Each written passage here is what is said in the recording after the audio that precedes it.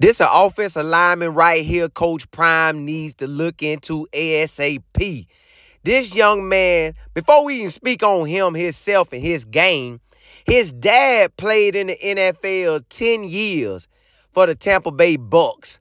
So you already know if his dad played on the line for 10 years with the Bucks and his son is an offensive lineman, he's going to make his son everything you could dream of. So his name is Trevor Mayberry, and his dad name was Tony Mayberry. And Trevor Mayberry started at Penn. U Penn, that is an Ivy League school. He started for two seasons there. So the boy is a baller.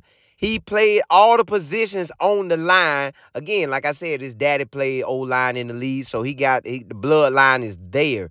This one, Coach Prime should look into. He got two seasons left, and he's 3.31 student. So that boy get it done in the classroom and on the field.